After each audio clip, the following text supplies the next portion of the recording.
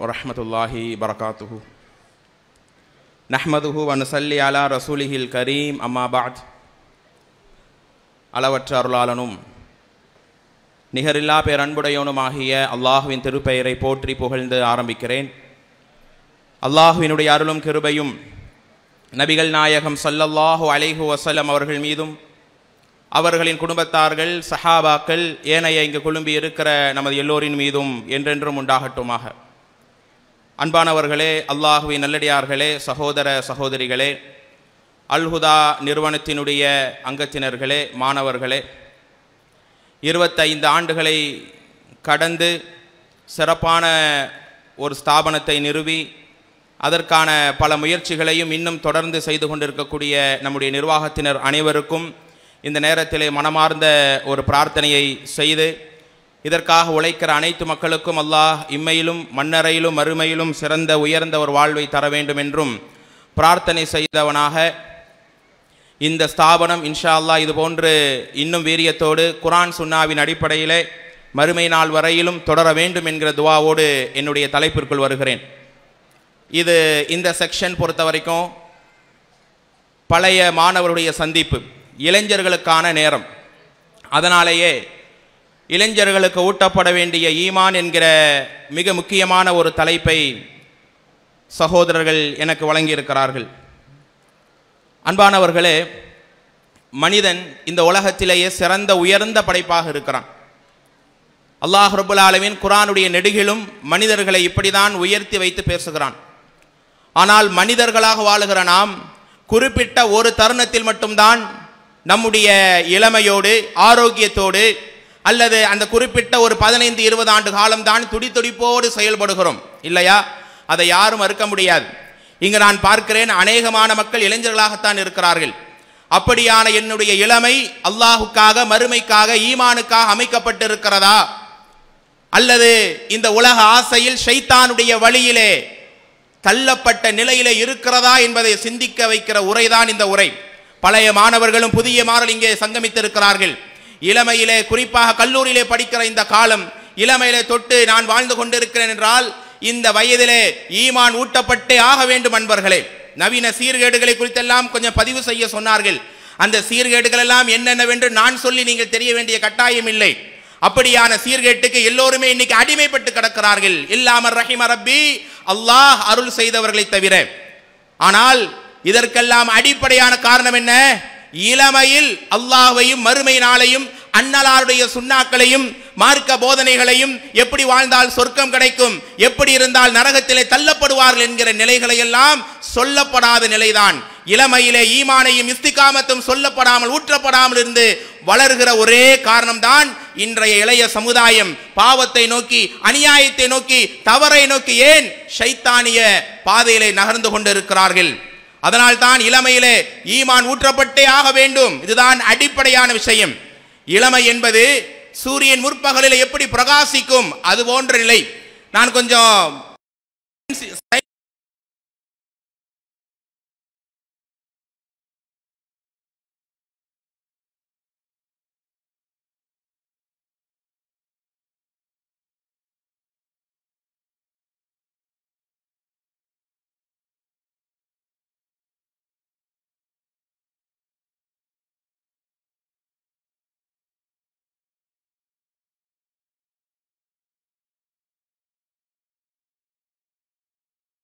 யோசிப்பார்கள். பின் விளைவு என்ன முன் விளைவு என்ன? எல்லாத்தையும் யோசிப்பாங்க. ஆனா ஒரு இளைஞன் அப்படி அல்ல. தடார்னு இறங்கி யாருக்காக எதை வேண்டுமானாலும் செய்து விடுவான்.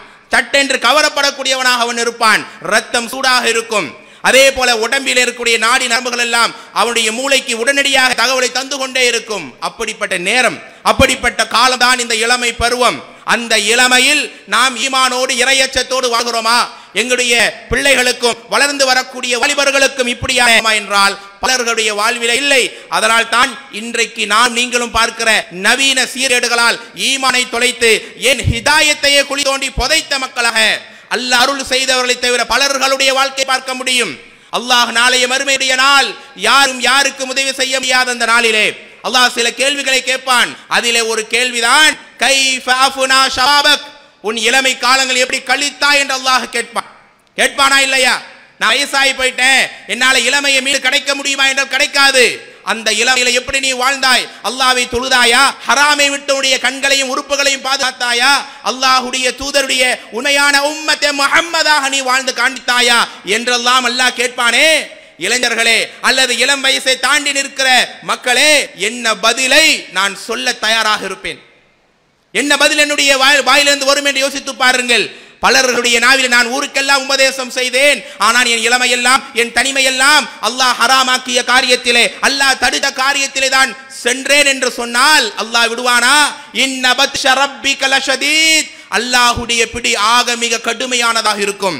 அதனால் தான் தவறுகளை விட்டு இளைய சமுதாயத்தை பாதுகாக்க வேண்டுமானால் இளமையிலேயே ஈமானை ஊற்றப்பட வேண்டும் அன்பர்களே குரானிலே பேசுகிறான் முப்பதாவது அத்தியாயம் ஐம்பத்தி நான்காவது வசனம் இளைஞர்கள் படித்து பார்க்க வேண்டிய வசனம் அல்லாஹுல்லதி خلقكم من ضعف ثم جعل من بعد ضعف قوة அல்லாஹ் உங்களை சாதாரண ஒரு துளியிலே இருந்து படைத்தான் ஒரு பயனில்லாத ஒரு விஷயம் ஒரு சாதாரணமான ஒரு துளி அதில இருந்து அல்லாஹ் உங்களை பலகீனத்திலிருந்து அல்லாஹ் உங்களை மீண்டு என்ன செய்தான். பலத்தை கொண்டான். அந்த பலம் தான் இளமை பருவம். அதிலே நீங்க தொடர்ந்து இருந்துருவீங்களா இங்க நாற்பது ஐம்பது அறுபது வயதுடைய மக்கள் இருக்கிறார்கள். என்னுடைய இருபது ஆண்டு காலம் இருபது வயசினுடைய நேரம் எப்படி இருந்தது? யோசிப்பார்களா இல்லையா? அந்த காலம் இன்று கிடைக்காதா என்று பலர்கள் கண்ணீர் வடிக்கிற காலம் எல்லாம் இன்றைக்கு இருக்கிறது. ஏனென்றால் அந்த காலம் குறிப்பிட்ட சில நேரங்கள் தான் அதை வீணடித்து நாற்பதை நாற்பத்தி ஐம்பதை தொட்டு விட்டால் அந்த இளமையில இருக்கிற ஆரோக்கியம் இளமையில இருக்கிற அல்லாஹு கஞ்சி வாழ்கிற பக்குவம் எல்லாம் கிடைக்குமா என்றால் அல்லாஹ் அருள் செய்த மக்களை தவிர பலர்களுக்கு கிடைக்காது. அதனால் தான் அல்லாஹ் சொல்லி காட்டுகிறான் அந்த இளமையிலே நீ தொடர்ந்து இருந்துட மாட்டப்பா. சும்ம ஜாலமிம் பாதி கொவ்வின் அந்த பலத்துக்கு பின்னால் பலகீனத்தை நிறைய அல்லாஹ் தருவான். வயசு தள்ளாரிடும் புள்ளியுடைய உதவி தேவைப்படும். அந்த நேரத்தில் அல்லாஹுடைய பணிக்காக மார்க்கத்துக்காக என்னை அர்ப்பணித்துக் கொள்ள முடியுமா என்று யோசித்து பாருங்கள். ஆக பிறக்கும் போது பலகீனம் மரணிக்கும் போதும் பலகீனம். இடைப்பட்ட காலம் தானே குவா பலம் என்று அல்லாஹ் ரபுல் ஆலமின் சொல்கிறான் அந்த பலத்தை ஈமானிய பலமாக இன்றைய இளைஞர் மாற்றி அமைத்திருக்கிறார்களா என்று மேடையில் அமர்ந்திருக்கிற பழைய மாணவர்களாக இருந்தாலும் இருக்கிற மாணவர்கள் யோசித்து பார்க்க வேண்டிய நேரம் இந்த நேரம் அன்பர்களே. அதனால் தான் அல்லாஹ் ரபுல் ஆலமின் குரானுடைய வரலாறுகளை பற்றி பேசும்போதெல்லாம் நிறைய வரலாறுகளை அல்லாஹ் சொல்லுவான். நிறைய அட்டாட்சிகள் அல்லாஹ் ரபுல் ஆலமீன் பேசுவான். அதிலே ஒரே ஒரு வரலாறை தான் ஆச்சரியமான வரலாறு என்று அல்லாஹ் பேசுகிறான். காணுமின் ஆயாத்தினா அஜபா. அல்லாஹ் சொல்லுகிறான் நான் அறிவிக்கிற அத்தாட்சியிலேயே ரொம்ப பிரமிப்பானது. யார்? புகைவாசிகள். அந்த இளைஞர்கள் அல்லாஹுடைய மார்க்கத்துக்காக அந்த ஈமான் ஊற்றப்பட்ட நேரத்தில் தானே அவர்களுடைய உள்ளத்தில் அல்லாஹ் மட்டும் தான் ஈமானிய உணர்வு மட்டும் தான் இந்த உலகத்திலே சொத்தாக நாளை சுவனத்தின் முத்தாக இருக்கும் என்று நினைத்தார்களே. அந்த ஈமான் இருந்தனால தானங்க ஒரு அரசனையை எதிர்த்தார்கள். குகையிலே தஞ்சம் புகும்போது கூட என்ன வார்த்தையை சொன்னார்கள்? அல்லாஹ் பேசுகிறான் பதினெட்டாவது அத்தியாயம் பத்தாவது வசனம் இது அவள் ஃபித்யா இலல் கஹ்ஃபி. அந்த இளைஞர்கள் அல்லாஹ் அந்த இளமைங்கிற வார்த்தையை பயன்படுத்துறான். இளைஞர்கள் ரோல் மாடலாக எடுத்துக்கொள்ள வேண்டிய செய்தி அவர்கள் குகையிலே நுழைந்த போது ஃபகாலு அவர்கள் சொன்னார்கள் ரப்பனா ஆத்தினா மில்லதுன்க ரஹ்மா இறைவா ரஹ்மானே உன் புறத்திலிருந்து எனக்கு ஒரு அருளை தாயா அல்லாஹ் வஹய்யி மின் அம்ரினா ரஷதா யா நீ தந்த நேர்வழி எங்களுக்கு பறித்து விடாதே. தந்த நேர்வழியில் எங்களை நிலைத்து வை ரஹ்மானே என்று கதறினார்களா இல்லையா? அப்படியான கதறலுக்காக ஈமானிய உணவுக்காகத்தான் அல்லாஹ் இன்றல்ல மறுமை நாள் வரையில் இந்த குகைவாசிகள் அல்லாஹ் நம்மை ஒரு பாடமாகவே அல்லாஹ் வைத்திருக்கிறான். ஜும்மாவுடைய நாளில் ஓதி அதை ஞாபகப்படுத்திக் கொண்டிருக்கிறோம். இந்த ஈமான் ஊற்றப்பட்டதினால் அவர்களை அல்லாஹ் எப்படிப்பட்ட இளைஞர்களாக நமக்கு முன்னுதாரணமாக பேசுகிறான். ஆனால் இன்ற இளைஞர்களுக்கு அப்படிப்பட்ட ஈமான் ஊற்றப்படுகிறதா? அப்படிப்பட்ட இளமையிலே அல்லாஹுவை எண்ணி அல்லாஹுக்காக ஈமானுக்காக இப்படிப்பட்ட அடிப்படையான வாழ்க்கை வாழ்வதற்கான நிலையை அமைத்துக் கொண்டார்களா என்று யோசித்து பாருங்கள். இல்லை. இது இல்லாதனாலதான் இன்ற இளைஞர்கள் நவீன சீர்கேடுகளில் மிக விரைவாகவே கவரப்படுகிறார்கள். அல்லாஹ் பாதுகாத்த மக்களை தவிர வரலாறை கொஞ்சம் புரட்டி பாருங்கள் தோழர்களே தாய்மார்களே. அஸ்ஸாபிகூனல் அவ்வலூன். இந்த மார்க்கத்துக்காக ஈமானுக்காக முதல் தரத்திலே நின்றவர்கள். யார் யாரெல்லாம் என்று பட்டியல் போடும்போது அவருடைய வயதுகள் என்ன? உமர் ரலியல்லாஹ். அவருக்கு வயது என்ன? இருபத்தி ஆறு என்று ஒரு அறிவிப்பு சொல்லுகிறது. அலி ரலியல்லாஹ் உங்களுக்கு தெரியும். பத்து வயதுக்கு குறைந்தவராக இருந்தார். உஸ்மான் ரலியல்லாஹ் அல்லா சாத்வின் வக்காஸ் பதினேழு வயசு. சுஹைப் ரூமி பத்தொன்பது வயசு. ஜெயித் பின் ஹாரிசா இருபது வயசு. அபு உபைதா இருபத்தி ஏழு வயசு. அப்துல் ரஹ்மான் பின் அவுஃப் முப்பது வயசு. அர்க்கம் பின் அர்க்கம் இருபத்தி ஒன்று வயசு. முசாப் அம்மார் சாத் போன்ற பல சஹாபாக்கள் அண்டர் டுவெண்ட்டி இருபதுக்குள்ள ரலியல்லாஹு அன்ஹும் அஜ்மஈன் இப்படி ஆரம்ப காலத்திலே அல்லாஹுக்காக மார்க்கத்துக்காக தன்னையே ஒப்படைத்தவர்கள் யார்? ஆரம்ப கட்ட இளைஞர்களாகத்தான் இருந்திருக்கிறார்கள். ஆனால் இன்ற இளைஞனுக்கு அல்லாஹுடைய அச்சம் இருக்கிறதா? மார்க்கத்தினுடைய பிடிப்பு இருக்கிறதா? எப்படி வாழ்ந்தால் அல்லாஹுடைய நேசம் கிடைக்கும் என்ற ஒரு நிலைப்பாட்டே இல்லாமல் இன்றைக்கு தான் தோன்றித்தனமாக. அசிங்கத்திலேயும் ஆபாசத்திலேயும் திளைத்து வாழ்கிறார்களா இல்லையா? அதனால் தான் ஆரம்பத்திலேயே இந்த இளமையிலே அல்லாஹுடைய அச்சத்தை நீங்கள் ஊட்டி கொடுக்க வேண்டும். அதுதான் உங்களுக்கு நாளைய மறுமை நாளில் சொர்க்கத்திலே உங்களுடைய கரத்தை பிடித்து அழைத்து செல்லக்கூடிய மிகப்பெரிய வழி அன்பர்களே தாய்மார்களே. அல்லாஹு அக்பர் சில வரலாறுகளை நீங்கள் தொடர்ந்து படித்து பார்க்கும்போது இந்த ஈமானுக்கு எப்படிப்பட்ட ரோல் மாடலாக அன்றைய தோழர்கள் சஹாபாக்கள் இருந்திருக்கிறார்கள். நிறைய வரலாறுகள் உண்டு. அதிலே ஒரு இடத்தில் அல்லாஹ் சொல்லுவான் இரண்டாவது அத்தியாயம் வைக்க வேண்டிய வசனம். இரண்டாவது அத்தியாயம் இருநூத்தி ஏழாவது வசனம். சுஹைப் ரூமி என்கிற சஹாபி உங்களுக்கு தெரியுமே? மக்கால இருந்து மதினாவுக்கு ஹிஜ்ரத் பண்ணி போக வேண்டிய நேரம். எதிரிகள் எல்லாம் அடைத்து பிடிச்சிட்டாங்க. கடைசியில சொத்தையும் உன்னுடைய எல்லா வாழ்வாதாரத்தையும் விட்டுட்டு போனாதான் உங்களுக்கு மதினால இடம் கொடுப்போன்ன உன்ன. ஒரு கணம் கூட யோசிக்காமல் எப்படி என்ற இளைஞன் அல்லாஹுவை விட இந்த உலகம் உலக ஆசை பெண்ணும் புகழும் பெரிதாக தெரிகிறது.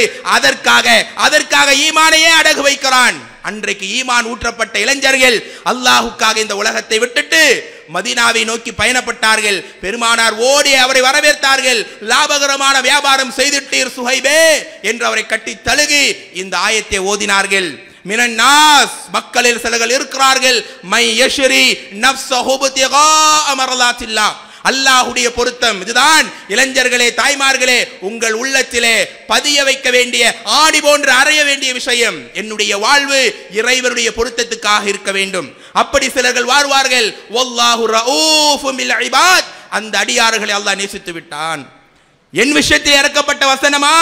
அல்லாஹு அக்பர் என்று கலங்கி அழுகிறார் சுஹைப் ரூமி ரலியல்லாஹ். அப்ப ஈமானும் இரையச்சமும் அவருடைய இளமையில ஊற்றப்பட்டதினால் தானே இப்படிப்பட்ட அர்ப்பணிப்பை செய்தார். ஆனால் இன்ற இளைஞருடைய யதார்த்த நிலை என்ன? அல்லாஹ் என்றால் பயமில்லை. அல்லாஹ் பார்க்கிறான் என்றால் தன்னுடைய செயலையும் ஒழுக்கத்தையும் அல்லாஹுக்காக அடிபடிந்து கொள்றாங்களா கிடையாது. எப்படி அல்லாஹ் நம்மை நேசிப்பான்? ஒரு ஆலிமா அல்லது அரபு பாடசாலையிலே படித்தாலும் கூட அல்லாஹுடைய அச்சம் இல்லாமல் போனால் ஒருத்தரால் மாறவே முடியாது. ஈமானும் இரையச்சமும் அவனுடைய உள்ளத்திலே ஆழமாக அழுத்தமாக பதிந்தாலே ஒளிய தோழர்களே தாய்மார்களே. அப்படி அன்ற இளைஞர்கள் உண்டு. அது மட்டுமல்ல அல்லாஹுடைய தூதர் சொன்னால் அன்ற இளைஞர்கள் கட்டுப்பட்டு இருக்கிறார்கள் ஹுதைஃபா என்கிற ஒரு தோழருடைய வரலாறு உங்களுக்கு தெரியும். இந்த ஹுதைஃபா யார்? பெருமானாருடைய ரகசிய தோழர். ஹந்தக்குடைய யுத்தக்கல நேரம். இன்ற இளைஞர்களுடைய நிலை என்ன தெரியுமா? லா இலாஹா இல்லல்லா என்ற கலிமாவை சொன்ன இளைஞராக இருக்கட்டும். நடிகர்களுக்கு பின்னால் அல்லாஹு அக்பர் நடிகர்களுடைய படம் ரிலீஸ் ஆகி ஒரு நாளைக்கு ஏழு எட்டு ஷோக்களை நான் அட்டன் பண்ணி நான் முழுமையாக என்னுடைய சவுண்டை விசிலையும் அடித்து மேலதாளங்கள் கொட்டி நான் சந்தோஷப்பட்டால் தான் என்னுடைய நாள் முழுமையாகும் என்று ஒரு இளைஞன் சொல்கிறான் இஸ்லாமிய மார்க்கத்தை ஏற்றவர் என்றால் இது ஈமான் இளைஞனா? ஈமான் ஊற்றப்பட்ட இளமையா இது? கிடையாது. அன்ற இளைஞர்கள் எப்படி தெரியுமா? அன்னலார் ஒன்றை சொன்னால் உடனே கட்டுப்பட்டு இருக்கிறார்கள் ஹந்தக்குடைய யுத்தக்கல நேரம். கடுமையான குளிர் கடுமையான அதாவது பசி. இந்த நேரத்தில் ரசூல்லா சொல்றாங்க எலும்பு. எதிரிகள் என்ன பண்றாங்கன்னு கொஞ்சம் நோட்டை விட்டுட்டு வாங்க பார்த்துட்டு வாங்கன்றாங்க. போனா விடுவாங்களா? மாட்டிக்கிட்ட என்ன கதிக்கு ஆளாவும் ரசூல்லா சொல்லிட்டாங்கன்றதுக்காக அவர் போறார். நடுங்கிக்கிட்டே வராரு. ரசூல்லா அலைஹிஸ்ஸலாம் அவருக்கு துவா செய்யறாங்க அவருடைய உடம்பில இருந்து கொஞ்சம் கொஞ்சமாக குளிர் அப்படியே நகண்டு போகுது. எதிரிகள் அணியில பாக்குறாங்க அபு சுஃபியான் விறகை முட்டி கொண்டு இருக்கிறார் அவங்களுக்குள்ள சொல்றாங்க இனி நம்ம போர் செய்ய வேண்டாம். குளிர் தாங்களை ஓடிடலாங்கிறாங்க இதையெல்லாம் உசாரா சேகரிச்சுட்டு வர வழியில மாட்டுறாரு. அபு சுஃபியான் பார்க்கிறார் ஆஹா ஒருத்தர் நம்ம ஏரியாக்குள்ள வந்துட்டான் அப்படியே சுத்தி வளையங்கடா அப்படிங்கிறார். எல்லாம் அவன் கையை அடுத்தடுத்து பிடிங்கிறாரு. இவர் என்ன பண்றாரு? ஹுதைஃபா பக்கத்துல இருக்கிறவருடைய கையை டக்குன்னு பிடிச்சி மஸ்முக் அவன் பேர் என்னங்கிறார். இவரே இவ்வளவு அதட்டி கேட்கிறாரு. அவர் பெரிய மனுஷராத்தா இருப்பாருன்னு அடுத்தவன் அவரோட பேரை கேட்கல. இப்படியே அந்த இருள தப்பித்து வரார். ரசுல்லா கிட்ட நெருங்கி வரும்போது அவருடைய உடம்புல இருந்த அந்த சூடு கொஞ்சம் கொஞ்சமாக குறைந்து மீண்டும் அந்த பழைய குளிர் தொத்தி கொண்டது. பெருமாநாட்டு நடந்ததையெல்லாம் சொல்றாரு. எல்லா விவகாரத்தையும் சொல்ல சொல்லிய நேரத்தில் பெருமானார் சொன்னாங்க அந்த மழைஃபில் ஜன்னா நீ என்னோடு சொர்க்கத்தில் இருப்பாய் ஹுதைஃபா என்று பெருமானார் சொன்னார்கள். எப்படி அண்ணலார் அன்ற இளைஞர்களை கவர்ந்திருக்கிறார்கள் தோழர்களே தாய்மார்களே? பெருமானார் சொன்னால் அடுத்த வார்த்தைக்கு இடமில்லை. அப்படிப்பட்ட இளைஞர்கள் அண்ணலாரோடு நான் சொர்க்கத்திலேயா? இன்றைக்கு நடிகர்களோடு சில அரசியல்வாதிகளோடு நாங்கள் கூட இருந்தால் அல்லாவுக்கு ரசூலுக்கு மாற்றமாக செயல்பட்டால் யாரோடு நாளைய மறுமையில் நாம் இருப்போம் என்பதை யோசித்து பாருங்கள். இது ஈமான் ஊட்டப்பட்ட இளைஞனுடைய வேலையா? ஆனால் அன்ற இளைஞனுடைய நிலைமை என்ன? பெருமானார் இப்படி சொல்லிட்டாங்கன்னு அந்த இரவெல்லாம் அழுது அப்படியே கலக்கத்தில் தூங்கிடுறார். ஃபஜர் நேரம் வரையிலும் அவர் உறங்குறார். பெருமானார் யா நௌமான் தூங்கு மூஞ்சிய கும் ஃபசல்லி எழும்பி தொழுங்கிறாங்க. எழும்பி அவர் தொழுதார் என்று ஹதீதிலே பார்க்க முடியும். இப்படி அன்ற இளைஞர்கள் ஆரம்பம் முதலே ஈமான் ஊட்டப்பட்டு வளர்த்தப்பட்டார்கள். இன்றைய ஆண்களோ பெண்களோ எப்படிப்பட்ட ஈமானுக்கு சொந்தக்காரர்களாக இருக்கிறோம்? இந்த ஈமான் தானங்க இந்த உலகத்தில் பெரிய சொத்தாக நாளைய சுவனத்தில் அல்லாஹுடைய அருளை வாங்கி தரக்கூடியதாக இருக்கிறது. அந்த ஈமானுடைய டேஸ்டை பின் ஹலாவத்தில் ஈமான். ஈமானுடைய ருசி மூன்று என்று அண்ணலார் சொன்னார்களே சொல்லல்லாஹு அலைஹு வஸல்லம். அந்த டேஸ்டை இன்ற இளைஞர்களுக்கு சொல்லி தரப்பட்டு இருக்கிறதா அல்லாஹ் ரசூலை விட இந்த உலகத்தில் வேறு எதுவுமே எனக்கு பெரிதல்ல. அந்த நிலைப்பாடு இருக்கிறதா?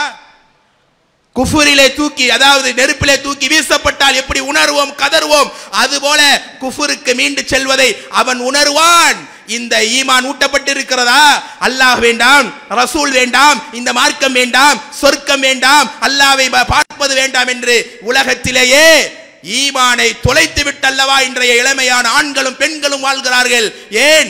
அவர்களுக்கு ஈமான் ஊட்டப்படவில்லை. அல்லாவுக்காக நட்பு கொண்டு அல்லாவுக்காக நட்பை விடுவது மூன்றாவது இதையெல்லாம் ஈமானுடைய ருசியாக எங்கள் பிள்ளைகளுக்கும் வளர்ந்து வரக்கூடிய வாலிபர் நாம் சொல்லி தந்துட்டோமா? இல்லை அன்பர்களே. ஆனால் அன்ற இளைஞர்களுக்கு அண்ணலம் பெருமானார் ஸல்லல்லாஹு அலைஹி முதல் வார்த்தையே ஈமானுடைய ருசி ஈமானுடைய அம்சத்தை தான் சொல்லித் தரார்கள். பாருங்கள் ஒரு யுத்த கல நேரம். அந்த யுத்த களத்தில் ஒரு இளைஞர் ஒரு வாலிபர் வருகிறார். ரசூலுல்லாவை பார்த்து சல்லா அலி சொல்லம் இஸ்லாம்னா என்ன? மார்க்கம்னா என்ன? எல்லாவற்றையும் தெரிந்து கொள்றார். உடனே அந்த யுத்த நடக்கிற நேரம் அந்த யுத்த கல நேரத்தில் அவர் கேட்கிறார் நான் இந்த போரிலே கலந்து கொண்டால் எனக்கு என்ன கிடைக்கும்? என்று கேட்கிறார். பெருமானார் சொன்னார்கள் வலக்கல் ஜன்னா உங்களுக்கு சொர்க்கம் கிடைக்கும் என்று சொல்றாங்க. உடனே அந்த யுத்த களத்தில் அவர் கலந்து கொள்றாரு. யுத்த களத்தில் கலந்து அந்த பாதி நேரத்தை மிடில் நேரத்தில் அது வரைக்கும் பங்கு வைக்கப்பட்ட கிடைக்கப்பட்ட கண்ணிமத்தை எல்லாருக்கும் ரசூல்லா ஷேர் பண்றாங்க. அப்ப அந்த இளைஞர் அவருடைய ஈமானுக்கு வயசு அரை நாள் கூட கிடையாது. ஆனா இன்ற இளைஞர்கள் இங்கு அமர்ந்திருக்கக்கூடியவர்கள் நம்முடைய ஈமான் பிறந்ததிலிருந்தே அந்த ஈமானுடைய ருசியோடு வாழ்கிறோம். ஆனால் என்னுடைய ஈமான் நல்ல மூமீனாக அல்லாஹுடைய நேசம் கொண்டவனாக அல்லாஹுடைய ரசூலுக்கு கட்டுப்பட்டவனாக மாட்டியிருக்கிறதா அல்லது நான் படித்த கல்வி என்னை அப்படி ஆக்கி இருக்கிறதா என்றால் இல்லையே தோழர்களே தாய்மார்களே. ஆனால் பாருங்கள் இவர் சொல்லுகிறார் அலாமா ஹாதா இத்தபஅத்துக யா ரசூலல்லா அல்லாஹுடைய தூதரே அல்லாஹுடைய தூதரே இந்த உலக ஆதாயத்திற்காகவா நான் இஸ்லாத்தை ஏற்றுக்கொண்டேன். அந்த ஈமான் எப்படி ஊட்டப்பட்டு இருக்கிறத இளைஞனுக்கு? வலாக்கின் வலாக்கின் இத்தபாத்துல் இஸ்லாம். இஸ்லாத்தை ஏன் ஏற்றுக்கொண்டேன் தெரியுமா? சொர்க்கம் கிடைக்கும் நீங்களே அதற்காக யார ரசூலல்லாஹ் இங்க வெட்டப்படணுங்கிறார். போரெல்லாம் முடிஞ்சு இறந்தவர்களை எடுக்கிற நேரத்தில் இவர் ஒரு அந்த இளைஞர் ஜனாதாவாக இருக்கிறார். ரசூல்லா அலிஸ்லம் கேட்கிறாங்க ஹுவ ஹுவ. இங்கு வெட்டுப்படணும்னு சொன்னாரே அவர் தானே இவர்? ஆமாங்கிறாங்க. இறைவனுடைய விஷயத்திலே உண்மையாக இருந்தால் அல்லாஹ் அவன் விஷயத்திலே உண்மையாக இருப்பான். இங்கு வெட்டுப்படணும்னார். அதே இடத்தை வெட்டுப்பட்டு அவர் கொல்லப்பட்டிருந்தார். எப்படிப்பட்ட ஈமான் என்னை ஊட்டப்பட்டு இருக்கிறது தோழர்களே தாய்மார்களே? அந்த ஈமான் அந்த இரையச்சம் மறுமைதான் நம்முடைய அடிப்படையான நோக்கம் என்பதையெல்லாம் இன்றைய இளைய சமுதாயம் மறந்து எப்படி வாழ்கிறார்கள்? தான் தோன்றித்தனமாக இணைச்சதெல்லாம் இன்னைக்கு ஆசைப்பட்டதெல்லாம் செய்யலாம் என்கிற மிதப்பிலேயும் பாவ கிடங்கிலேயும் அல்லவா இருக்கிறார்கள். அதனால் தான் இளைஞர்களுக்கு இந்த இஸ்லாத்தை ஈமானியங்கள் ஊட்ட வேண்டும். இன்னைக்கு சில தவறுகள் பேரழிவுகள் இளைஞர்கள் பேரால் நடக்கிறது. அதையும் இந்த நேரத்திலே கண்டிக்கிறோம். இஸ்லாம் காலையில சொன்னார்களே இஸ்லாம் அமைதி இஸ்லாம் அடுத்தவனை வாழ வைக்கிற மார்க்கம். ஆனா இன்றைய இளைஞர்கள் ஈமானுங்கிற பேர்ல தவறான பாதைக்கும் அடுத்தவனை கொள்ளலாம் என்கிற தவறான இஸ்லாத்தினுடைய எதிரான சிந்தனைக்கு நடத்தப்பட்டு கொண்டிருக்கிறார்கள். மார்க்கத்தில் இடமே இல்லை. ஒரு இளைஞனாக நீ ஒழுங்காக உன் தாய் தந்தையை உன்னுடைய சக மனிதர்களை மதித்து ஒழுக்கமாக இரு என்று சொல்லப்பட்ட மார்க்கமே தவிர வேற எந்த தவறான தீவிரவாத சிந்தனைக்கும் இன்றைக்கு தப்பாக மூளை செலவை செய்து அழைத்து செல்கிறார்கள். இளைஞர்களே அதுவல்ல இஸ்லாம் அதுவல்ல நம்ம நோக்கம். உங்களால் நாலு பேர் வாழ்ந்தான். உங்களால் நாலு பேரை திருந்தினான். உங்களால் நாலு பேரை காப்பாத்தினீங்க. உங்களால் நாலு அனாதைகள் அரவணைச்சுங்க இருந்தால் அதுதான் உண்மையான அரிசின் நிழல் பெற்று தரக்கூடிய இளமை பருவம் தோழர்களே. ஆக வீதி வீதியாக உங்கள் நண்பர்களுக்கெல்லாம் இஸ்லாம் என்றால் அமைதி மார்க்கம் தவறான தப்பான கொள்கையை சொன்னவனை எதிருங்கள் அவனை தடுத்து நிறுத்துங்கள். உங்களுடைய வாழ்க்கையிலே அல்லாஹ் ரசூல் மட்டும்தான் முதன்மையாக இருக்க வேண்டும். அப்படிப்பட்ட ஈமான் தான் அன்றைய மக்களுக்கு அன்னலார் சொல்லி தந்தார்கள். பெண்கள் நிறைய இங்க இருக்கிறீங்க. தாய்மார்கள் இளமை இளைஞர்களாக இருக்கிற பெண்கள் இங்க இருக்கிறார்கள்.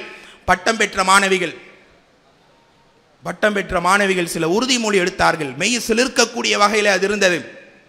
எத்தனையோ பட்டமளிப்பு விழா நம்ம சந்திச்சிருந்தாலும் கூட இந்த பட்டமளிப்பு விழா ரொம்ப ஒரு வித்தியாசமானதாக ஒல்லாஹி என்று சொல்லி நீங்கள் சத்தியம் செய்திருக்கிறீர்கள். சத்தியம் முறித்தால் என்ன? பாவம் தண்டனை என்பதை அறிந்த மக்கள் தான் எல்லாருமே. அல்லாஹினுடைய வழியிலே மார்க்கத்தினுடைய நிழலிலே நாங்கள் இருப்போம் என்பதாக இருக்கிறீர்கள். ஆனால் அல்லாஹ் அருள் செய்த இளைஞர்களும் இளம் பெண்களையும் தவிர சில ஆண்களையும் பெண்களையும் பார்க்கிறோம். அற்ப காதல் அற்ப சுகத்திற்காக இந்த மார்க்கத்தையே விலை பேசுகிறார்களே. ஒரு அந்நியான் என்னோடு சேர்ந்து இருக்கலாம் என்னை தொடலாம் என்ற நிலையில் அல்லவா இருக்கிறார்கள்? ஏன்? அவர்கள் உள்ளத்தில் இந்த ஈமான் ஊற்றப்படவில்லை. ஹாஜரா அலை இஸ்லாமே சிலாஹித்து பேசுகிறோமே.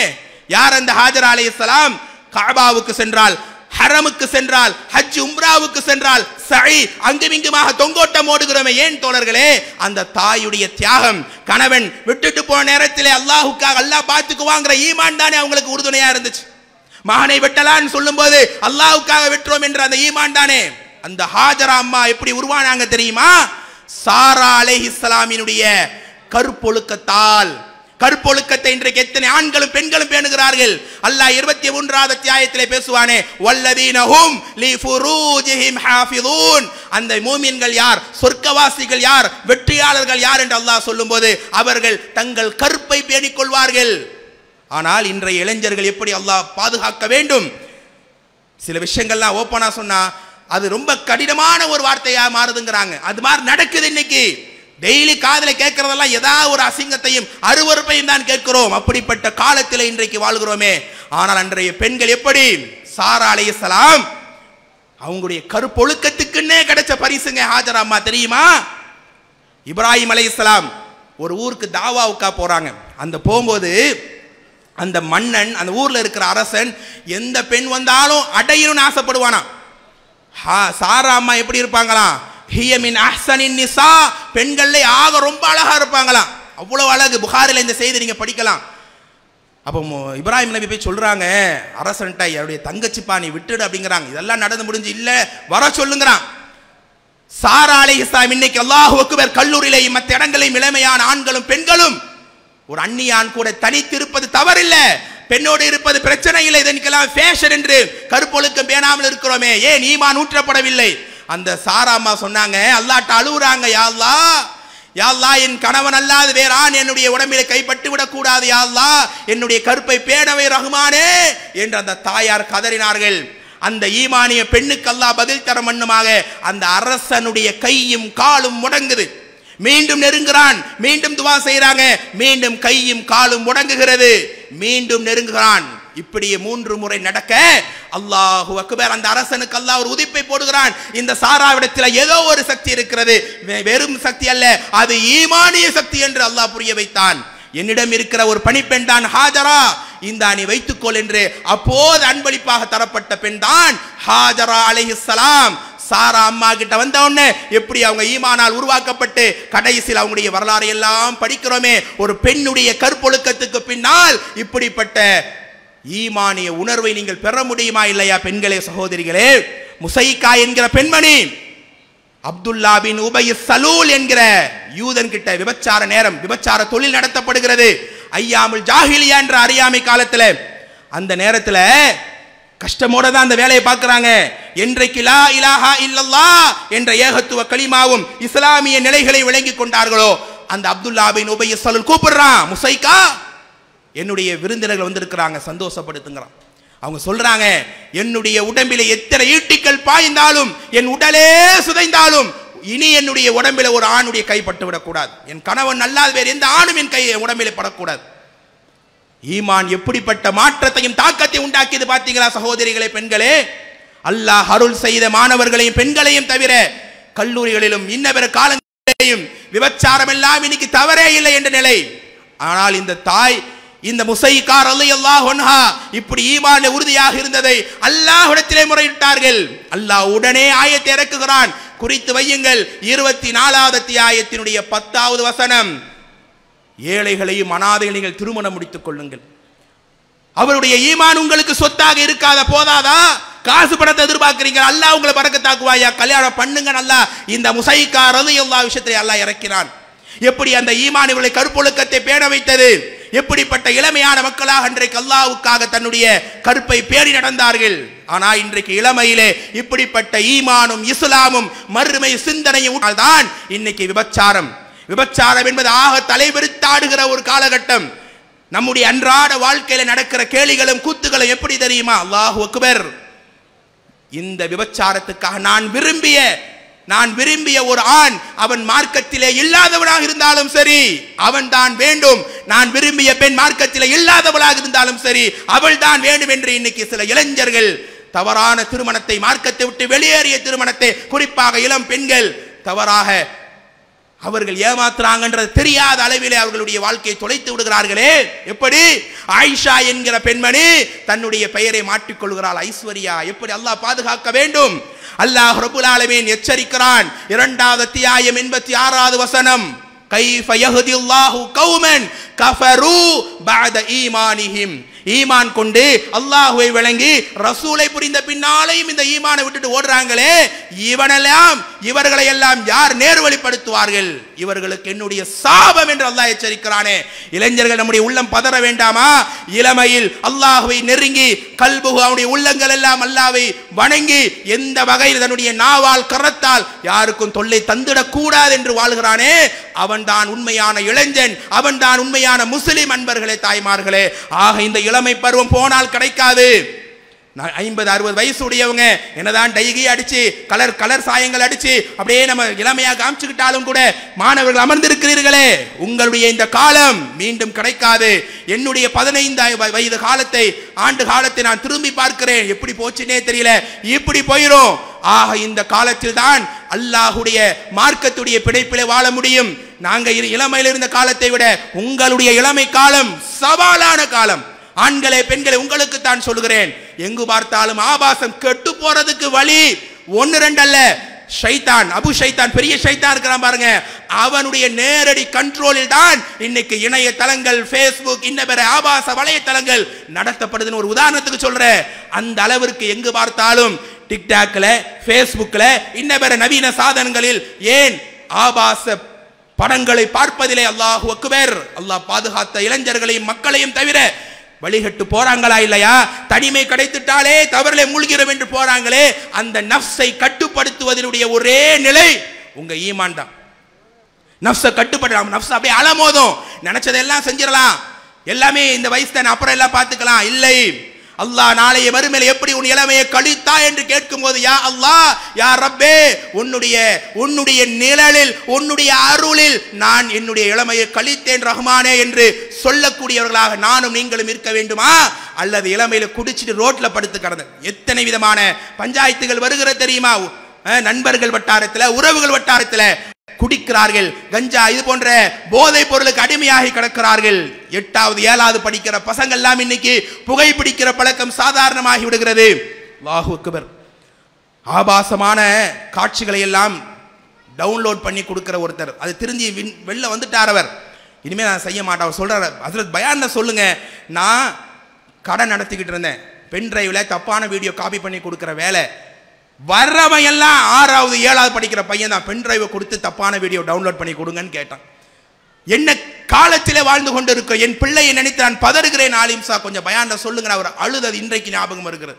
அப்படியானால் தோழர்கள் இன்றைய நவீன சீர்கேடுகளை குடி போதை தீவிரவாதம் விபச்சாரம் கொலை கொள்ளை எல்லாவற்றையும் விட்டு நாங்கள் விடுபட்டு எங்கள் கற்பையும் பேணி வாழ வேண்டுமேயானால் குறிப்பாக இளம் வயதில் இந்த ஈமான் ஊற்றப்பட்டே ஆக வேண்டும் அன்பர்களே.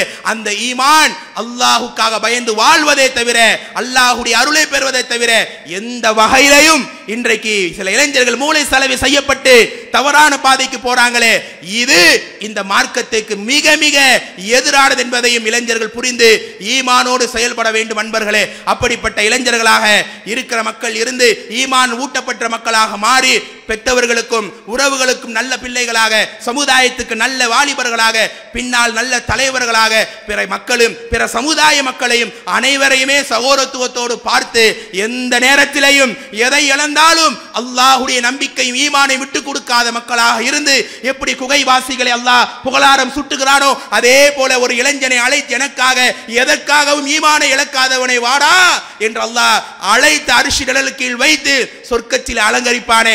அப்படிப்பட்ட பாக்கியத்தை நானும் நீங்களும் என்னுடைய உங்களுடைய தாயும் தந்தையும் என்னுடைய பிள்ளைகளும் அனைத்து மக்களையும் அடைய வேண்டும் அன்பர்களே.